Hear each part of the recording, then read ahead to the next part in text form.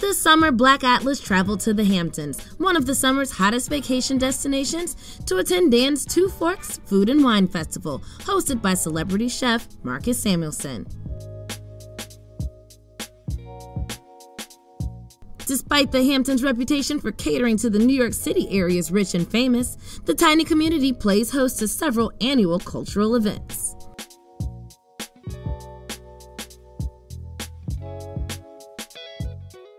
We caught up with Chef Samuelsson as he treated the Hamptons crowd to some of his world famous cuisine.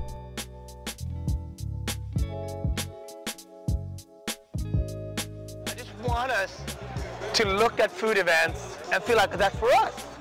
You know, we do not only have to be the staff, you know, but part of that is also us looking at it as, as a fun vertical.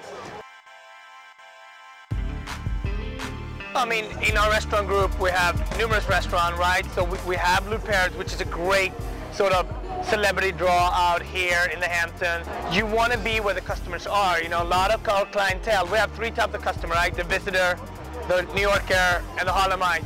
Part of the Harlemite and part of the New Yorker leaves town. And they're out here for the summer, so we got to be right in front of them. Our restaurant here is more fun, it's more casual, that's okay because we're touching them. It's all about being in front of customers, and we got to cover it all year round. So this is a good look for us. This is good. But we got to start looking at it. This is for us. And I think uh, we still have some work to do there, and that's why it's so important that we do this, and that's what integration, that's what, you know, I always talk about footprint, imprint. That's what that's about. You know, not just about what we do in there, but for the larger as us as a whole. People seem pretty responsive. They like the food, which is always good. You never want a, a table that, that has a bad dish. Guests enjoyed samplings of the Hamptons' best restaurants and wine cellars, while a DJ provided the tunes to set the mood. I've been attending more food and wine festivals, but this is my first one out in the Hamptons, so I'm really excited. This is my first, and I, I absolutely have had a wonderful time. Like, I love it.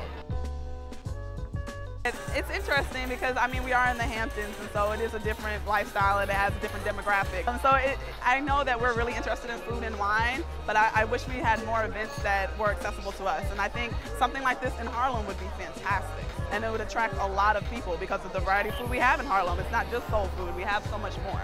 So I think bringing something like this to a, to a Harlem would be amazing. I know that I'll be back a number of times. Um, tonight's event was wonderful, but there are several other venues I would like to come to out here and plenty more that I would like to experience in the Hamptons. So I know I'll be back. This summer, Black Atlas recommends a weekend getaway to the Hamptons.